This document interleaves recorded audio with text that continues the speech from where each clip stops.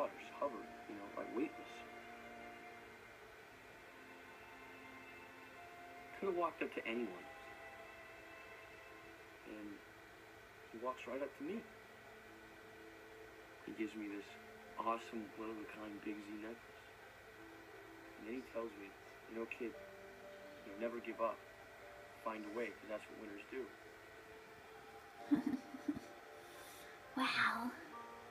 Was the greatest.